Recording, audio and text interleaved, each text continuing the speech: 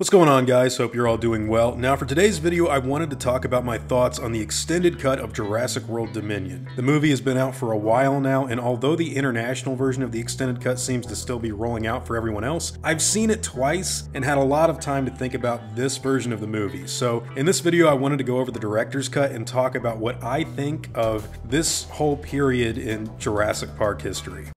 Now before I go any further, I want to mention to you guys that today's video is sponsored by CuriosityStream, the world's first streaming service addressing our lifelong quest to learn, explore, and understand. Offering up thousands of nonfiction titles, documentaries, and exclusive originals from some of the world's best filmmakers, this is the place to find fascinating stories that are entertaining without any of that reality show nonsense. CuriosityStream is the Netflix for nerds, the Hulu for history buffs, and the Disney Plus for the scientists in us all, and at under $20 a year, it's extremely affordable coming out to about $1.67 per month. CuriosityStream has always been the perfect sponsor for this channel due to their wide selection of dinosaur documentaries, just like this one called Ancient Earth, which I'm sure a lot of you have heard of before. Anytime you get a combination of dinosaur visual effects with real-world paleontology thrown in for good measure, you've got a cool thing going for dinosaur docs, and this service is full of them. CuriosityStream is the entertainment brand for people that want to know more, and it's available on Roku, Android, Xbox, iOS, Chromecast, Amazon, Apple, and several smart TVs as well. New shows come out every week, so whether you want to know about science, sports, music, technology, nature, or history, you can find it all on CuriosityStream. Just go to curiositystream.com slash Klayton for unlimited access to the world's top documentaries and nonfiction series, and just for you guys, use promo code Klayton, and you're going to save 25% off, which comes out to about $14.99 a year. So click the link below or go to curiositystream.com slash Klayton and save 25% off right now. This is an extremely affordable deal compared to other streaming services that I think you'll enjoy, so once again, thank you to CuriosityStream for sponsoring today's video. Now,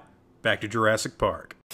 So, it took me a while to make this video because I'm not gonna lie, Dominion really, it didn't sit right with me in the theatrical cut of the movie. I, I, was really annoyed, to say the least. I know a lot of people liked it, and I am a big fan of Jurassic Park, but personally, the movie didn't really hit me the way I wanted to. So, I watched the extended cut, and my general thoughts on it are that I like it much more than what was in theaters. I think it's a slightly better movie, but the things that are improved here are pretty significant. I don't think it's great.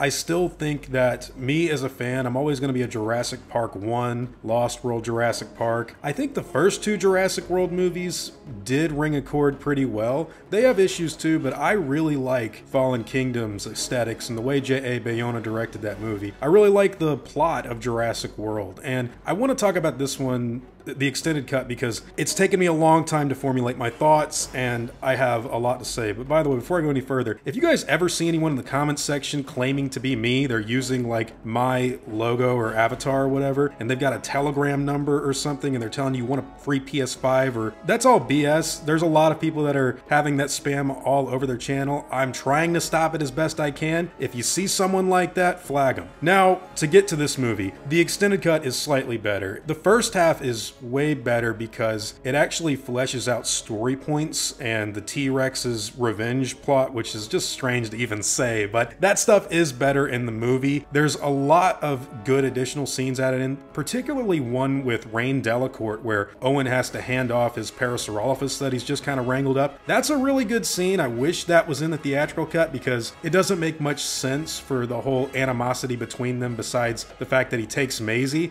It's like, well, how did he know that that was the same guy that followed him? Because he never saw him in the theatrical cut watching him. It's just weird. This extended version makes more sense. There is another extended scene with Dodgson and mamoudou athie's character ramsey in the server room that i think is really good too. And it highlights Campbell Scott's acting as well as Mamoudou Athie's, they're really good in this movie. I just wish that some of the material that they were given was better because even though I like the extended cut more and I do think it's a much better paced film, extremely it's edited completely differently with the now this stuff. The first thing you see in the theatrical cut is that Mosasaurus attack and that's like the last thing you see in the now this footage in this version. It's a way more articulate and straightforward cut of the movie. Now, unfortunately, the second half it's just not working for me because it's just a re remake of other Jurassic Park movies I've seen before to a T, and I don't know why you wouldn't just watch those over this one. I will say that in order to do this video, I actually had my mom watch this movie with me because she'd never seen it before. She didn't see it in theaters, and she was really critical when I was growing up with the Lost World Jurassic Park. Now you might be saying, why would a Jurassic Park fan want that? But it's because I want to kind of anchor myself in like Normieville. That way I can kind of get a view for why some people feel the way they do in a general consensus sort of way. And ironically, okay, so here's what she had to say. She liked the movie, but she said the first half is like a Hallmark chick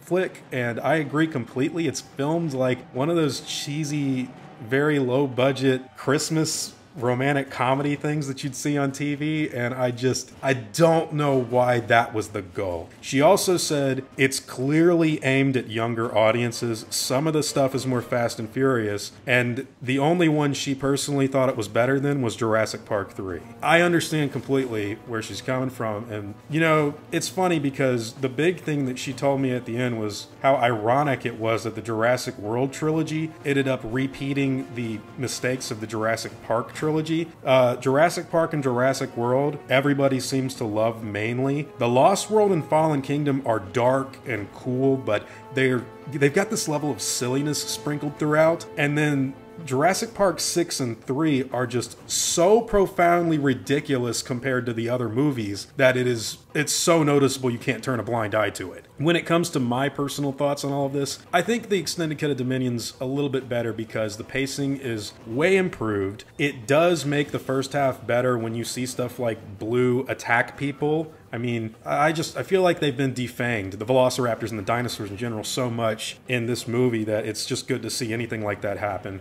But there are other elements too. I will say Bryce Dallas Howard is really, really good in this movie. Uh, in fact, I'd say that her acting is some of the best that she's ever done in the series, and it's funny when the Therizinosaurus scene rolled around. I, I was like, you know, this is one of my favorite scenes in the movie. And she said, "Oh, is that because it's like the Lost World?" And I was like, "Yeah, you already know."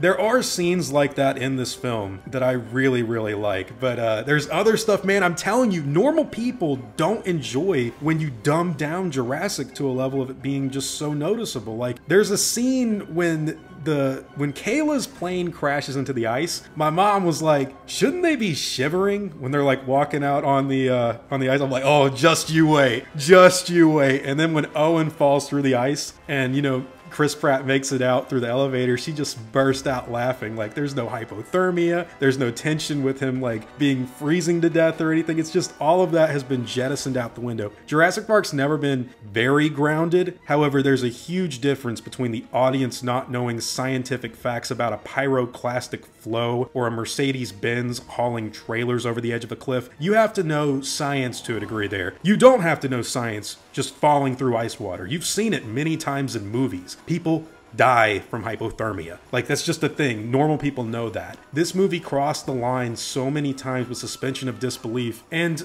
especially with convenience. Like there's a part where I love the scene where Bryce Dallas Howard's about to get spit on by the Dilophosaurus, but the way Owen stops it, I like that, but it's so convenient that they show up at that very moment. It's also very convenient that the Jeep falls with Ian Malcolm, Maisie, Alan, and Ellie right at the feet of these people after they've just met up. It's also very convenient that there's a complete motorcycle gassed up with the keys ready to go for Chris Pratt to jump on and ride away. And the same thing is true with DeWanda Wise and Bryce Dallas Howard in the truck that they're driving. At least in Fallen Kingdom, you see the people actually abandon the car that was supposed to go onto the boat. So it makes sense for keys to be in there. But in these situations, it's like a very obvious thing. Like it's just like cutting corners. And I don't understand why that happened, but my theory is that, you know, there was a rumor going around for a while that Jurassic World 3 was actually supposed to be a two parter. And from what it looks like, Battle at Big Rock may have been what they originally planned for Jurassic Park 6, and this may have been Jurassic Park 7. So I don't know if it had anything to do with COVID or if there's a, you know, decision made behind the scenes, but this just feels very out of left field for me as a fan. The locusts are an interesting idea, but and they're better in the extended cut for sure. That is a better version of the movie. But I still feel like they come out of nowhere and the promise at the end of Fallen Kingdom was going to be that the dinosaurs were going to be the big issue. But um, you know, even apart from that, I will say dinosaur designs in this movie are better than in the three previous movies. I really think that the Therizinosaurus, the Moros intrepidus, I would go as far as say the Dimetrodon design looks pretty good. The Quetzalcoatlus is awesome. Not a big fan of the Giga, but it looks okay in certain scenes. But you know what? Uh, there are some good dinosaur designs in this movie. I would say they're they're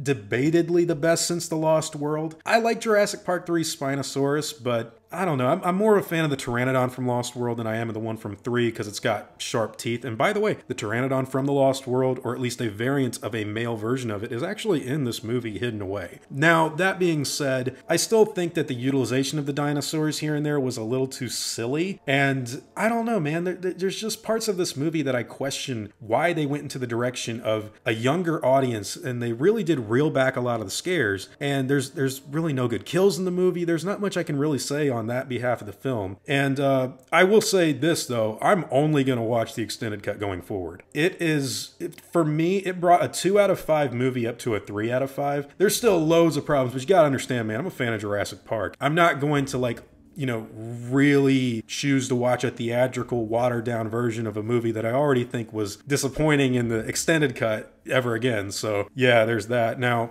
I will say, I think one of the the big things for me, and I might do a future video on this. One of the big things that's missing in this film is the man versus nature element. That seems to almost have been completely abandoned, which is a shame because that was a very big part of you know the Jurassic Park movies I grew up on. And you know, for five or six movies, the main warning has been don't let the dinosaurs get out. Don't let the dinosaurs get out. We can't control the dinosaurs. If they get out, out, it's going to be really, really bad. But then, you know, and Fallen Kingdom promised that we would see something like that in the next one. But then you get to this movie, and it turns out that, oh, it's not a big deal if the dinosaurs get out. There's no big issue for ecosystems. And the movie's message is actually coexistence, which I, I, I got to be honest, man, I kind of hate because you, you can't spend a whole franchise warning of, you know, you cannot control genetic power. And then when you get to this movie, it turns out you can control the dinosaurs. You've got an aerial deterrent system that makes sure that the pterosaurs don't go anywhere. Then you've got these little laser beams that you can put on dinosaurs to control who attacks who. And then on top of that, you've got dinosaurs that can be controlled by brain impulses, a chip in their brains that literally sends them to wherever you want them to go. And at no point in the movie do the dinosaurs defeat the technology in the way that they did in the first Jurassic Park, where, you know, it's kind of like an oversight in lysine contingency or breeding. They are getting so uh, vast and numerous that it's impossible, and it was man's hubris that brought it down. In this movie, the dinosaurs take a backseat to the locusts, and it's not really much of man versus nature so much as it is we made a major mistake with science. So, how are we going to fix that mistake? Well, it's not through man versus nature and naturalism. We're just going to use more science. And that's fine and all, but I think that defeats the purpose of what Jurassic Park kind of not just the first movie, but all of the previous movies. Owen's training the Raptors, that was always seen as like, he can't technically do it. Like, he had to imprint on them, they turn on people, they viciously kill the InGen group. I don't know, man. When you get to this movie, the raptors are, you know, it's funny because in Fallen Kingdom, the implication is like, dude, there's raptors out, man. There's velociraptors and they hunt and kill people and they're intelligent. And then you get to this one, it's like, oh, there's a raptor living in my backyard. It's fine. It's fine. It's just blue. And I'm just watching it. I'm like, I don't know, man. I just don't, I don't buy into it as much as I did in the other films. And especially when you go back to Jurassic Park 3 and they're, it's a little silly, I will admit, but they're talking about how they become the dominant life forms on the planet. It's hokey, but I kind of wish they went in a direction more of a Planet of the Apes, you know, Planet of the Jurassic Park dinosaurs, but they didn't do it, and it's it's a bit of a bummer, I, I will honestly say. Now, that being said, this movie is so much better when you watch the extended version. It does run long, but Ian Malcolm is able to shine a little bit more here because the lines he's given, and it's not even additional scenes. It's just the fact that the movie's paced a little bit better. I was able to absorb more of what he was saying, and he kind of falls more into the Lost Worldy role here and there. I love his line where he's talking about Beta. He's like, "And you gave it a name. How about that?" I just think that's that's classic Dr. Malcolm, where he's scolding Dodgson is great. There's other scenes where he kind of chews up the scenery and becomes really cool. I love the scene where he gets in the jeep and his work. I love the Ramsey character, by the way. He's he's really really good in this movie. I'd love to see more of him in future films, and that actually brings brings me to my final thoughts on this movie and where they want to take it, because Colin Trevorrow said that he took something that was deemed unfranchisable, and his mission was kind of turn it into something that was franchisable. I will say I have heard the rumors that they don't want to bring any of the legacy cast back, whether it be Owen, Claire, Alan, Ellie, Ian, anybody like that, and they just want to go with DeWanda Wise and Mama Athie and, and I, I guess possibly Deshaun Lockman. I don't know completely about that. I will say this: please for the love of God, if there's any way you can do it, can you please keep Jeff Goldblum somewhere? Because, you know, it's funny, when people ask me who is the centerfold of Jurassic Park, I actually think John Hammond. But Richard Attenborough has passed away, and if there's going to be more of these movies made, can we please have Jeff Goldblum in there somewhere? And I know other people have other lives and they want to do other things and move on their career or go down different avenues and paths. I would love it for all of these characters to be in a movie and they're together from start to finish. But like, Jeff Goldblum gave this really good speech in the bonus features of Jurassic World Dominion. It was on the set of the movie. And as a fan, it's really good, man. He just basically says he, he wants his usage as an actor to be spent up as much as it can for the betterment of the audience enjoying the film. He cares about the Ian Malcolm character in the same way that I think a lot of us really do like that critique of modern worldview and hubris I really I think you need him because We've gotten to a point where Jurassic Park is kind of so big, and even though we were told for 30 years that the dinosaurs cannot be controlled and that we will pay for the genetic manipulation that we've caused, to end on a note of, oh, you know, it's fine, let's just coexist. I don't like that. I think that goes against Jurassic Park, actually, and it makes, it kind of makes everything out like Malcolm was, I don't want to say wrong, but he was just not accurate. And dude, these are vicious animals that rip people apart and we've seen them do it for decades. I'm not I don't want them to be monsters, but I do want the movies to be I just want them to take themselves seriously. So, with that being said, I know I've critiqued a lot of this film, but I will say the extended cut's the only way I want to watch the movie going forward because it's paced much better. As a film, it actually does make a lot more sense. The actors are given a lot more times to shine and the plot points hammer home way better. I just wish that the movie had not aimed for such a young audience in terms of what Lost World or Fallen Kingdom did. That's kind of where I want the series to go. And oh, oh, oh, also, there's kind of a plot hole in the Jurassic World trilogy now because they've said that Maisie was Charlotte's creation and not Benjamin Lockwood's. And if that's true, then why did Benjamin Lockwood and John Hammond fall out? What happened there? Because his whole death scene is Eli Mills going, you know, John Hammond was right. It was an unholy thing you did. So it's like, okay, what did he do?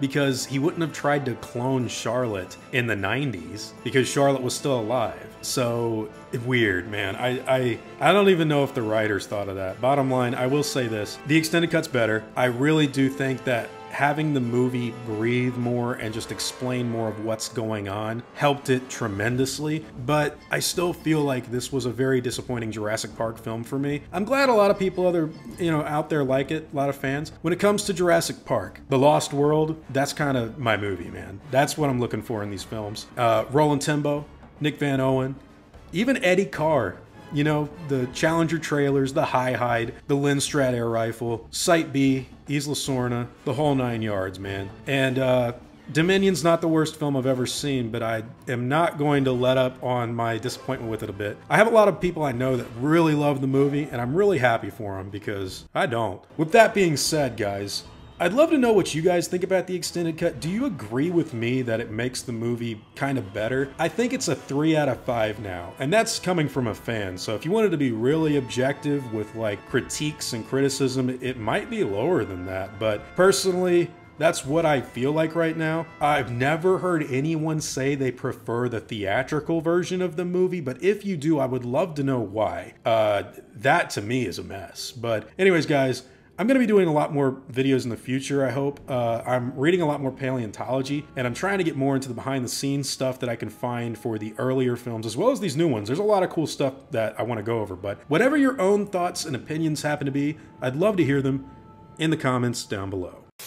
Now before I go, I'd like to thank all of my game wardens and InGen executives. As well as all of my park workers and InGen hunters as well. You've all helped my channel immensely, and I'm incredibly grateful for all of that support. Now I'd like to thank you all for watching today's video and hope that you enjoyed the content. If you feel like I deserve it, I'd appreciate the like and hope that you all consider subscribing.